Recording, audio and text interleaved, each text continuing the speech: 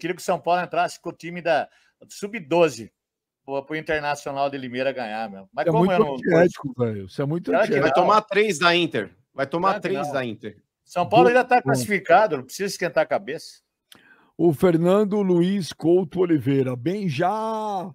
O por que não trazer o baldaço aí para representar o Inter? Preconceito contra os colorados. Não é, velho, é que o mano morre de medo do baldaço. O mano, o, o fraudaço? Tem, o mano...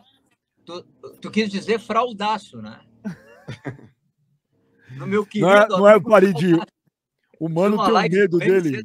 Aqui, ó. O mano tem um puta medo dele. Por que ele tem medo?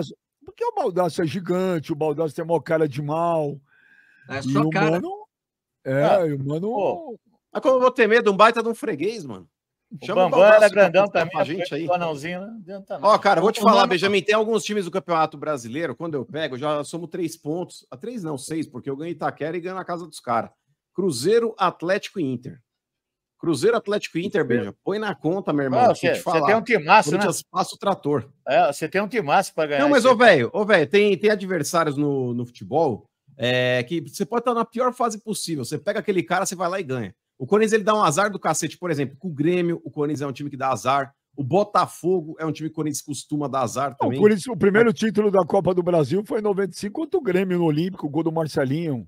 Sim, mas se você pegar o histórico, Benja, é, o Corinthians ele leva desvantagem contra dois times do futebol Vocês brasileiro. Vocês ganharam do, do Grêmio ano passado no brasileiro lá? Ganharam de 1 a 0 Ganhou, ganhou 1 a 0 ali no jogo heróico. O Corinthians com um a menos, jogo campo pesado, enfim. Mas se você pegar o histórico, é, são dois times que o Corinthians no, no confronto direto leva desvantagem, contra Grêmio e Botafogo. Ô, mano, não, peraí. O William Souza, aqui é ponte, bem já só batendo na cara dos paulistas. Primeiro os tricas, agora os gambás. Chupa velho, boca de sacola, manja, corno e desserviço. Caramba, os caras os cara não gostam do velho, né? É, o problema é Por que deles. será, né? É o problema é deles, vou fazer o quê? Ô, Cleber, por que, que as pessoas agridem tanto o velho, cara? Ai, um idiota. Tem mais que, tem mais é que falar mesmo. Tá vendo, tá vendo seu Farid? Um anãozinho de jardim vem só falar bosta aqui, quer que. Ele sabe o que ele quer, seu Farid? Ah. E quando ele começa a falar, ele quer que todo mundo apoie ele, as idiotices que esse baixinho fala, essas coisas. A gente corta ele e fica nervosinho. Né? Não, quero apoio. O pessoal que, que vê a gente aí, que assiste, velho, eles sabem quem, é, quem são os caras que falam a verdade, é. quem são as pessoas inteligentes do programa.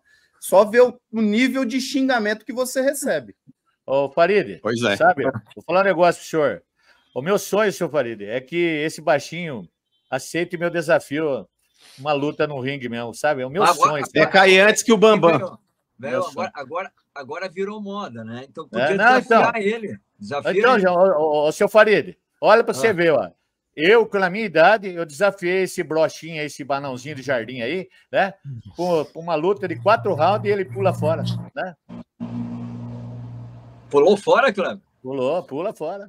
Ou não aceitou? Não aceitou. Ô, gladiador. Acho que esse cara merece resposta. Então. Acho que esse, você acha que merece resposta um imbecil como esse cara? Nossa senhora. É perda de tempo. É muito bom, velho. É perda de tempo ficar discutindo com esse idiota. Olha o nível, de, olha o nível da discussão.